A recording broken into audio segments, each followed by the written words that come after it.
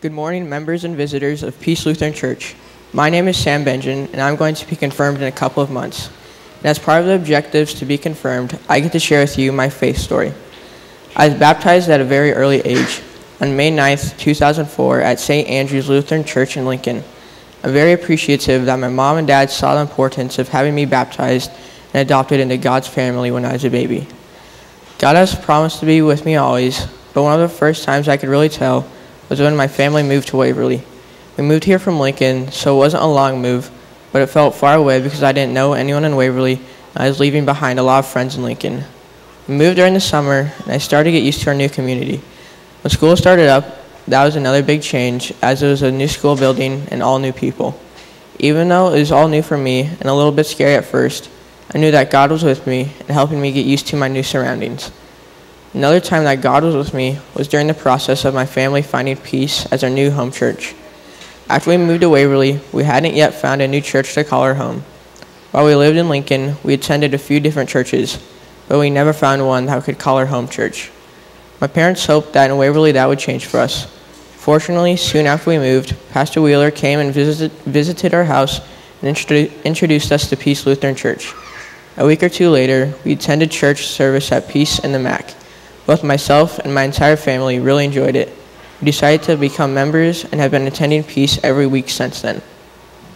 The third time that I knew God, knew God was with me was when I attended Camp Luther near Schuyler, the summer after my sixth grade year. Attending camp with several classmates from my midweek class and also with kids from other churches.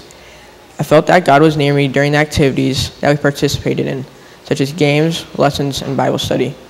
I especially felt God with me during a time called TAG, which stands for Talk Alone with God. During this time, we read the Bible and wrote in our journals what we had learned. We did this by ourselves, so that it was between me and God. The four years of midweek classes that I have taken have really helped me have a better understanding of the Bible and God. A memory verse that stuck with me is Romans chapter 10, verse 11. It says, As Scripture says, anyone who believes in him will never be put to shame. I like that verse because it tells me that if we believe in God, he will always be with us and help us through struggles.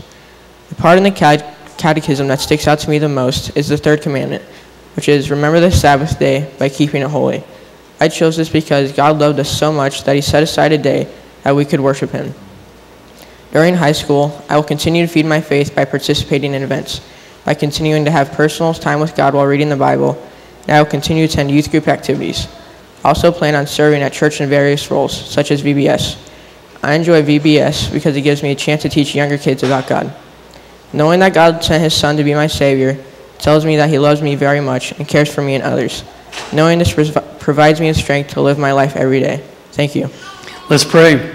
Lord, we thank and praise you for Sam. Thank you for the faith that you have imparted into him. We ask you to grow it as you grow him, as that he continues to be a contributor in your kingdom.